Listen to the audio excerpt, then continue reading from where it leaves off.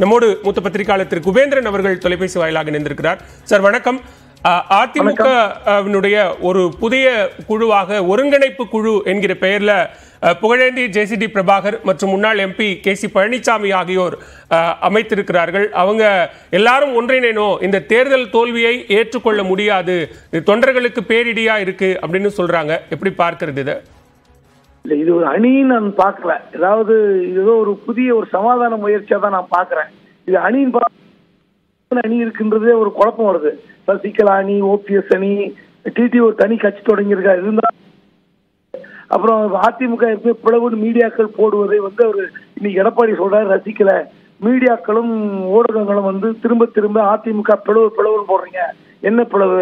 நான் பர்சனல் படி நான் கட்சி வளர்ந்துருக்கேன் என் தலைமையில வளர்ந்துருக்குன்றாரு. இன்னைக்கு ஒரே ஒரு வார்த்தை டங் ஸ்லிப்ல சொன்னாரா? இல்ல ஒரு உண்மையிலே மனதிலிருந்து வந்த வார்த்தையான்னு தெரியல. தமிழ்நாடு முழுவதும் நான் மட்டுமே பிரச்சாரம் செய்தேன்னு சொல்றாரு. ரொம்ப தவறான ஒரு வாதம். அது அவர் ஏன் அந்த வார்த்தையை சொன்னாருன்னு தெரியல. ஏன்னா இப்போ அதிமுக தொண்டர்கள் நிர்வாகிகள் எல்லாரும் கட்சிக்கு உழைச்சிருக்காங்க. தேர்தலுக்கு உழைச்ச ஒவ்வொருத்தருக்கும் நன்றின்னு சொல்லிக்கணுமே தவிர நான் மட்டும்தான் உழைச்சேன். அதனால தான் ஓட்டு கம்மியா இருக்கு. திமுகவுக்கு எல்லாரும் உழைச்சாங்க. பாஜக எல்லாரும் உழைச்சாங்கன்னு சொல்ற டோன் சரியான டோன் அல்ல. இல்ல அது டங் ஸ்லிப்பா எல்லாம் சொல்லல அவர் ரொம்ப தெளிவா தான் சொன்னாரு. இல்ல இல்ல அதுதான் சொல்றேன். அது வந்து அது வந்து ஏற்க முடியாத ஒரு வாதமாக இருக்கும்னு சொல்றேன். ஏன்னா அவர் வந்து ஒரு அணி பெரிய பலமான அணி அமைக்க முடியவில்லை என்ற ஏக்கம் இருக்கலாம். ஆனால் தமிழ்நாடு முழுதும் நான் மட்டுமே பரப்புரை செய்து கிடைத்த வாக்கு இது. இதை ஒரு சதவீதம் அதிகரிக்கிறது என்பது இது தொண்டர்கள் மத்தியில் வந்து ஒரு சலனத்தை ஏற்படுத்தும் சொல்ல வரேன். என்னோட கருத்தா சொல்றேன். அவரு டங் ஸ்லிப்பா சொன்னாரா? இல்ல உண்மையிலே இதுதான் என்னுடைய ஜெயலலிதா மாதிரி தான் நானே. நான் மட்டும்தான் பரப்புரை செய்தேன் சொன்னது வந்து ஏற்க முடியாத வாதம்.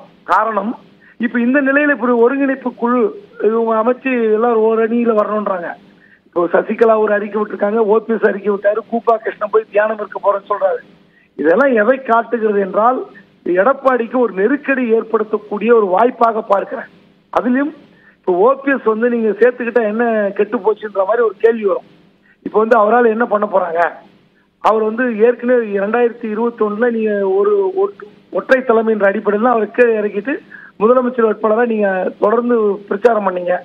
அவர் இருக்கும்போது கிடைத்த வாக்கு கிடைக்காத வாக்கு இதெல்லாம் கணக்கு பார்க்காம பிளவு பிளவு பிளவுன்னு மீடியாக்களில் பிரிண்ட் மீடியா எலக்ட்ரானிக் மீடியாவில் வருவதை தடுப்பதற்கு இது ஒரு வாய்ப்பாக இருப்பதற்கு இந்த மாதிரி ஒரு குரூப் பிரஷர் டாக்டிஸ் யூஸ் பண்றாங்கன்னு நான் நினைக்கிறேன். திரு குபேந்திரன் இப்ப நடக்கக்கூடிய இந்த நிகழ்வுகள் எல்லாமே தன்னிச்சையா இயல்பாக இயல்பா நடக்கக்கூடியது அப்படின்னு பார்க்கணுமா? இல்ல தேர்தல் முடிவுகளை ஒட்டிய பின்னணியில் யாரோ இருந்து இயக்குகிறார்கள் அப்படிங்கிற அடிப்படையில் இது பார்க்க வேண்டிய தேவை இருக்கா? இல்ல யாரோ இயக்குகிறார்கள் என்பதை விட இப்ப ஜேசிடி பிரபாகரன் வந்து ஓபிஎஸ் அணியிலிருந்து வந்து இங்க இருக்கிறாருன்னா இது வந்து எடப்பாடிக்கு ஏதோ ஒரு சிக்னல் எங்களை சேர்த்துக்குங்க அப்படின்னு தான் நான் பாக்குறேன் இவங்க தனி அணியா செயல்படுறதுல கேசிபியோ இல்ல ஜேசிடி பிரபாகரனோ புழையஞ்சு என்ன பண்ண முடியும்? எங்களை சேர்த்துக் கொள்ளுங்கள் என்று எடப்பாடிக்கு தூது விடுகிறார்கள்.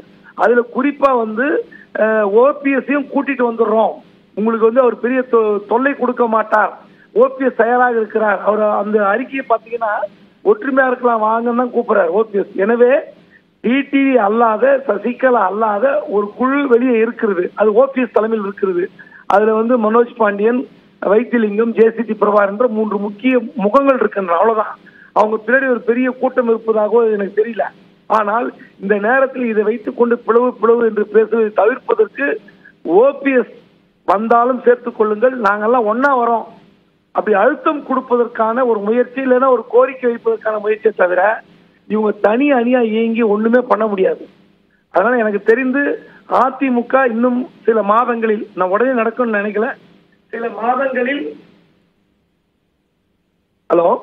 சொல்லுங்க திரு சில- மாதங்களில் ஒன்றிணைவதற்கு வாய்ப்பு இருக்கிறது. அது மூணு மாதமா ஆறு மாதம் விரைவில் இவர்கள் பிரிந்தவர்கள் ஒன்று கூடுவதற்கு வாய்ப்பு இருக்கிறது. எக்ஸப்ட் சசிகலா எக்ஸப்ட் டிடிவி மிக்க நன்றி. திரு குபேந்திரன் இணைப்பில் வந்து உங்களுடைய கருத்துக்களை பகிர்ந்து கொண்டமைக்கு நன்றி.